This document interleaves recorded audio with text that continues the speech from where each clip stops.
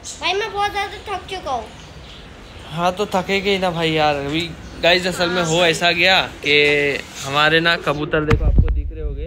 तो इसमें से अभी ये देखो ब्लैक वाला दिख रहा होगा आपको। ठीक है ब्लैक वाला कबूतर भी हम लोगों का अभी ऊपर चढ़ गया था। और एक ग्रे वाला कबूतर है वो भी ऊपर चढ़ गया था। वो मैं वीडियो ऐड कर दूँगा देख लेना आप लोग। और बहुत मुश्किल से नीचे उतारे हम लोग ने। भाई परेशान कर दिए क्या बोलूँ मैं अभी। अभी देखो यहाँ पे ये हमारा फेंटेल ये कबूतर देख रहे हो? ये भी ना मतलब बहुत परेशान करता है। और हो ऐसा गया है कि एक कबूतर को मालूम पड़ा है तो उसको देख देख के सारे के सारे कबूतर ऊपर जंप मारने लग गए हैं। और अब तो ऐसा हो गया है कि जैसे कि आप लोग देख रहे हो ये पर्दा देख रहे हो? ये पर्दा है जो। तो ये पर्दे के पीछे चले जा रहे हैं कबूतर। देखो मैं आगे वीडियो डाल रहा हूँ वीडियो देख लो पहले आप लोग। भाई क्या हो गया? इतनी जल्दी क्यों बुलाया मुझे? भाई देखिए हमारा कबूतर पर्दे के पीछे जाके खड़े हो गया मैं इसे पकड़ने की कोशिश किस तरफ़ है यार? दिख रहा नहीं है मुझे।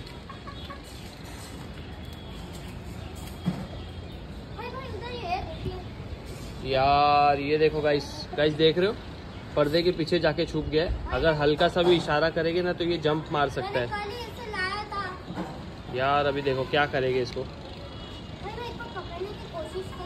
तलहा नीचे जंप मार देगा वो। तो गाइस देखा आप लोगों ने कि कैसे मतलब ऊपर चढ़ जा रहे कबूतर।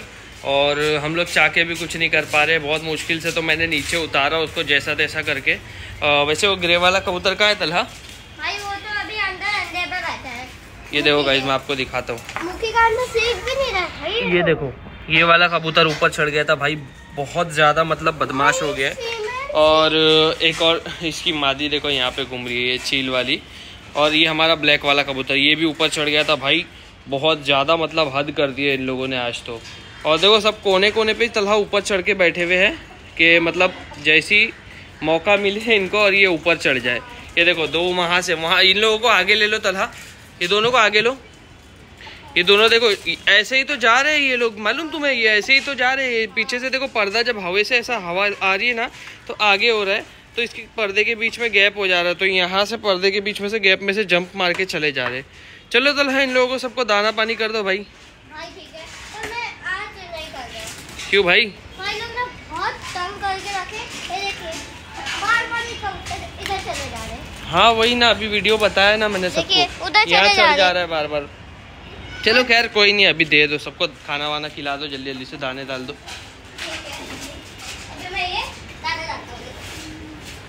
तो गाइज़ जैसे कि आप लोग देख रहे हो यहाँ पे हम लोगों ने सभी को दाना वाना डाल दिए है। और एक और आपको मैं बुरी खबर है एक आपको मैं बताता हूँ चल के।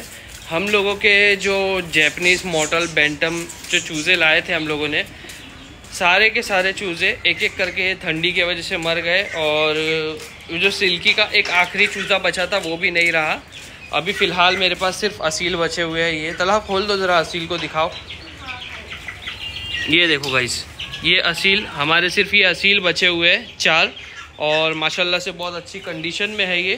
बिल्कुल भी मतलब अभी बीमार वीमार नहीं है। इसको कुछ दिन पहले ही मैंने वैक्सीन किया था इन लोगों को। लगभग आठ दस दिन हो गए इसको वैक्सीन करवा के। और बहुत हेल्दी है भाई, देख सकते हो आप लोग।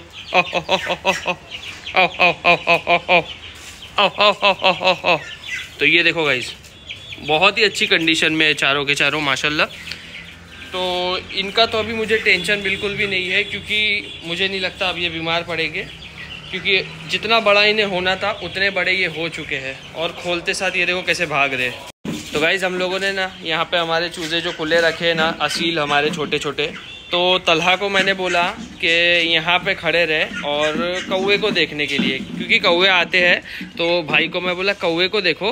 तो भाई चूज़े लोग को देखते बैठे और बार बार उनके पीछे भाग रहे तो चूज़ों को मत देख, कौवे को देख। अरे भाई तो उधर शेरा खुला है ना वो मारेगा इसे वो नहीं मारेगा भाई और ये इतने बड़े हो गए कि ये उसको मारेगी उल्टा। भाई, ये इतने छोटे हैं वो उसको आके मार सकता है आपको नहीं। तो आप को दोनों को ले पागल हो गए हो क्या? इतने इतने से है मेरे चूजे मैं क्या रिस्क लूँगा बेफालतू में लड़ा के गाइज़ तलहा ना पागल हो गया है। ये देखो ये पागल हो गया है लड़का ये कुछ भी करे पागल जा रहा नहीं है हुआ ये लोग मर जाएगा नहीं। नहीं ये सही में पागल हो गया है। ये मतलब ना जो बोले वो नहीं करेगा ये अपनी मर्ज़ी से कुछ भी काम कर रहा है। अभी यहाँ पे चूजे खुले हैं तो कौवे आएँगे तो कौवे को भगाना चाहिए ना।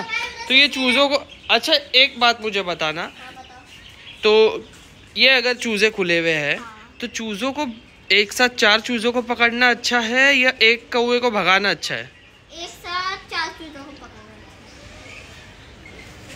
किसके मुँह लग रहा हूँ मैं भी? समझ में नहीं आ रहा है। ये सुनने वाला लड़का है नहीं। अब एक कौवा आएगा तो कौवे को भगाना आसान है या फिर चार चूजों को पकड़ना आसान है ये बताओ। है। ये लड़का पागल है सही में ये पागल हो गया है।